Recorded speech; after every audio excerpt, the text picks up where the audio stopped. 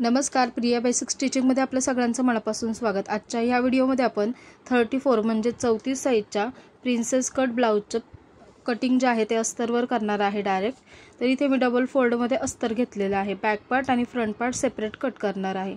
तर खालून जे आहे ते अस्तर पहिल्यांदा सरळ करून घेतलं एकसारखं करून घेतलं. आता पहिल्यांदा इथे बॅक पार्ट जे आहे ते कटिंग करणार आहे. बंद बाजूकडून माप टाकायचं आहे तर जी काही बंद बाजू असेल तिथून छा जी काही उंची असेल ब्लाऊजची त्याच्यामध्ये एक इंच ॲड करून मार्किंग करून घ्यायचं आहे इथं तेरा इंच आहे तर चौदा इंचावर मार्किंग करून घेतलं मी. त्याच्यानंतर जी उंचीची लाईन आहे त्याच्यावर शोल्डरचं मार्किंग करायचं तर इथे सव्वा पाच इंच शोल्डर घेणार आहे. समांतर अंतरावर मार्किंग करायचं शोल्डरची लाईन आखून घ्यायची. त्यानंतर शोल्डरची लाईन जी खाली आखली आपण त्याला आर्मोलचं मार्किंग करायचं आहे. आर्मोलच्या लाईनवर इथे मी साडेपाचचा आर्मोल घेतलेला आहे. तर इथे मार्किंग करून घेतलं आणि ती लाईन जी आहे ती सरळ करून घेतली. आरमोलच्या लाईनवर छातीचा चौथा भाग प्लस दो दोन इंच शिलाई मार्जिन तर इथे चौतीस मापाप्रमाणे सा छातीचा चौथा भाग साडेआठ इंच आणि दोन इंच शिलाई मार्जिन असं मार्किंग केलेलं आहे. त्याच्यानंतर खाली कमरेचा चौथा भाग अठ्ठावीस इंच कंबर आहे त्याचा चौथा भाग सात इंच एक इंच बॅकच्या टकसाठी आणि दोन इंच शिलाई मार्जिन असं मार्किंग करून घेतलेलं आहे. आणि ड्रॉ करून घेतलेला आहे. इथे बॅगचा आर्मोलचा आकार जो आहे तो सव्वा एक इंचावरून दिलेला आहे कॉर्नरमधून तर अशा प्रकारे आर्मोलचा आकार देऊन दिलेला आहे.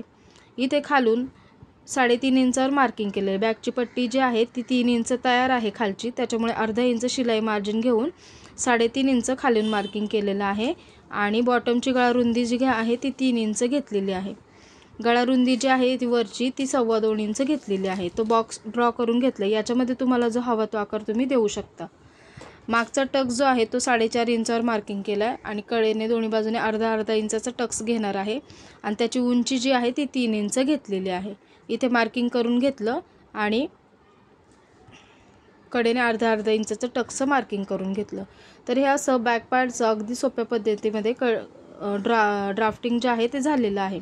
तर याचं आता कटिंग करून घ्यायचं. जसं ड्रॉ केलेलं आहे त्याप्रमाणे कटिंग करून घ्यायचं आहे तर हे बॅक पार्टचं कटिंग झालेलं आहे. आता फ्रंट पार्ट कसा अस्तरवर करायचा हे बघूयात. तर इथे मी अस्तरवर एक लाईन करून घेतली. आणि इथे पहिल्यांदा पाव इंच शिलाई मार्जिन घ्यायचं आहे जी हुकलुकची पट्टी करतो आपण त्यासाठी.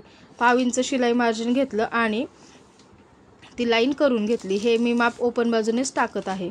त्याच्यानंतर सव्वा पाच इंच शोल्डर आणि साडेपाच इंच आर्मोलचा जो आकार आहे तो ड्रॉ करून घ्यायचा आहे. सव्वा पाच इंच शोल्डर घेतले आणि साडेपाच इंच आर्मोल घेतलेला आहे. ते ड्रॉ करून घेतलं. आर्मोलची लाईन आहे ती सरळ ड्रॉ करून घेतली. आर्मोलच्या लाईनवर छातीचा चौथा भाग आणि दोन इंच शिलाई मार्जिन घ्यायचे. तर जे पाव इंच मार्जिन सोडलेलं होतं त्याच्या पुढे छातीचा चौथा भाग आणि दोन इंच शिलाई मार्जिन घ्यायचे. इथे उंचीचं मार्किंग करून घ्यायचं. तेरा इंच उंची आहे तर चौदा इंचावर मी मार्किंग करून घेतलं. एक इंच शिलाई मार्जिन ॲड करून. आणि ती लाईन आहे ती सरळ ड्रॉ करून घेतली. आहे. त्याच्यानंतर इथे बघू शकता छाती उंची जी आहे त्याच्यामध्ये फक्त एकच इंच मी इथे ॲड करून घेतलेलं आहे. परत पुढे एक्स्ट्रा वाढवायचं आहे आपल्याला. त्याच्यानंतर इथे जे आहे ते खाली कमरेचा चौथा भाग न घेता डायरेक्ट जेवढं वरती छातीचं चौथा भाग आणि दोन इंच घेतलेलं आहे तेवढंच माप खाली घेतलेलं आहे. फक्त जे पाव इंच मार्जिन घेतलेलं आहे ते सोडून पुढे घेतलेलं आहे. तर ह्या लाईन ज्या आहेत त्या ड्रॉ करून घेतल्यात. आता इथे आर्मोलचा आकार देण्यासाठी जो आरमोल आपण ड्रॉ केलं होतं साडेपाच इंचाचा त्याचा मध्य काढून घेतलेला आहे. आणि तिथून आतमध्ये पाव इंचावर एक मार्किंग करून घेतले आर्मोलचा आकार एक इंचावरून द्यायचा आहे. तर बघू शकता अशा पद्धतीने जे पाव इंच थोडंसं आतमध्ये आलो होतं आपण तिथून तो आकार दिलेला आहे. त्यामुळे फ्रंटच्या भागात फुगा आणि चुन्या येत नाहीत. त्याच्यानंतर पुढचा गळा जो आहे तो सहा इंच तयार आहे. त्याच्यामध्ये अर्धा इंच शिलाई मार्जिन घेऊन साडेसहा इंचावर मार्किंग करून घेतलं. वरच्या बाजूने गळा रुंदी जी आहे ती सव्वा दोन इंचच ठेवलेली आहे. खालच्या बाजूने सुद्धा सव्वा दोन इंच ठेवलेले आहे. फक्त जी पाव इंच शिल एक्स्ट्राचं शिलाई मार्जिन घेतलं होतं हुकलुकपट्टीसाठी ते सोडून ते मार्किंग करायचं आहे खाली टक्स पॉईंट इथे दिलेला आहे तो चार इंचावर मार्किंग केलेला आहे आणि उभासुद्धा चार इंचावर मार्किंग केलेला आहे. जी पूर्ण उंची घेतलेली आहे त्याच्यामध्ये परत अर्धा इंच खाली एक्स्ट्राचं वाढवून घ्यायचं आहे कारण हा प्रिन्सेसचा ब्लाऊज आहे. पुढून उचलला जाऊ नये त्यासाठी हे खाली अर्धा इंच वाढवून घ्यायचं आहे. म्हणजे पुढच्या भागाची उंची साडे चौदा इंच आहे. आणि आता इथे आर्मोल्समधून असा प्रिन्सेसचा आकार जो आहे तो देऊन घेतलेला आहे. तर खालचा प्रिन्सेसचा जो टक्स आहे त्याचा आकार द्यायचा आहे तर इथे मी दीड इंचाचा टक्स घेणार आहे आणि व उभा पण दीड इंचाचा घेणार आहे आणि तिथून हा पॉईंट असा जो आहे तो जोडून घ्यायचा आणि प्रिन्सेसचा आकार द्यायचा आहे. त्याच्यानंतर आता हे जे दीड इंच टक्स घेणार आहे ते पुढे आपल्याला वाढून घ्यायचं आहे. आर्मोलच्या बाजूने अर्धा इंच वाढवलं आहे आणि खालच्या बाजूने कमरेच्या बाजूने दीड इंच वाढून घेतले. ते जे पॉईंट आहेत ते जोडून घेतलेले आहेत. म्हणजे शिलाई मार्जिन आपलं कमी पडत नाही आणि व्यवस्थित ब्लाऊज जो आहे तो तयार होतो. आता हे खाली जे अर्धा इंच वाढवलं आहे त्याचं क्रॉसमध्ये जोडून घ्यायचं आहे या पॉईंटला आणि इकडचा जो टक्स पॉईंट आहे त्याला असा क्रॉसमध्ये जोडून घ्यायचं आहे त्यामुळे ब्लाऊज जो आहे तो पुढून उचलला जात नाही. तर आता हे पूर्ण मार्किंग झालेलं आहे. आता गळ्याचा गोलाकार आकार इथे देऊन घेतलेला आहे.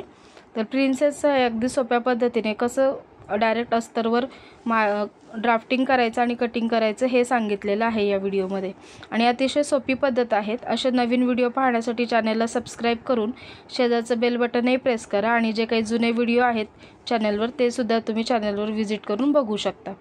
तर बघू शकता अशा प्रकारे जेवढं आपण मार्किंग केलं होतं त्याप्रमाणे कटिंग करून घेतलेलं आहे.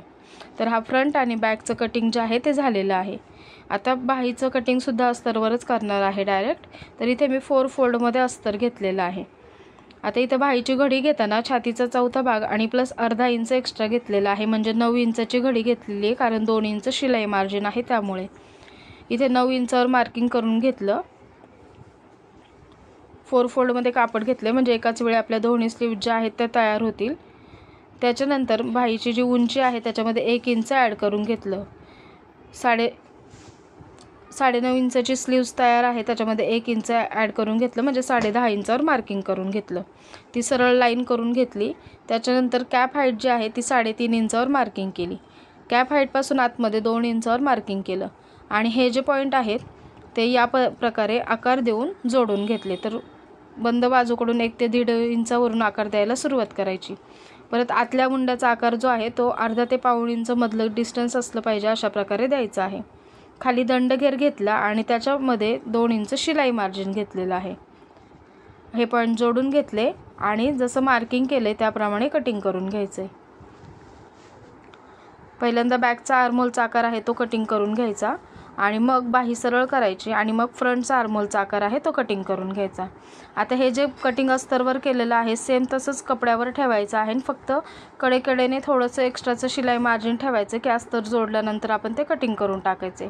फ्रंटच्या बाजूला इथे मार्किंग केलेलं आहे फ्रंटचं आता इथे जी काठाची बाजू आहे ब्लाऊज पीसची तर तिथे मी स्लीव्ज काढून घेणार आहे. आणि दुसरं बॅकच्या साईडला जे आहे ते गळ्याला डिझाईन तयार करणार आहे. त्याच्यामुळे बॅकचा पार्ट मी इथे ब्लाऊज पीसवर लगेच कटिंग केलेलं नाही आहे फक्त स्लीव्ज फ्रंटचा पार्ट कटिंग केलेला आहे. तर बघू शकता कडेने थोडं थोडं एक्स्ट्राचं मार्जिन ठेवायचं आहे आणि स्लीव्ज जोडल्यानंतर एक्स्ट्राचं जे काही मार्जिन आहे ते कटिंग करून घ्यायचं आहे तर अतिशय सोप्या पद्धतीत हा प्रिन्सेस ब्लाऊजचं चौतीस साईजचं कटिंग सांगितलेलं आहे. व्हिडिओ आवडला तर लाईक करा. नवीन कोणी शिकणारे असेल त्या त्यांच्याबरोबर शेअर करा. याची बॅक डिझाईनची डिझाईनचा व्हिडिओसुद्धा मी शेअर करणार आहे. तर तो व्हिडिओ पाहण्यासाठी चॅनलला सबस्क्राईब करून शेजारचं बेल बटनही प्रेस करा. व्हिडिओ शेवटपर्यंत पाहिल्याबद्दल धन्यवाद.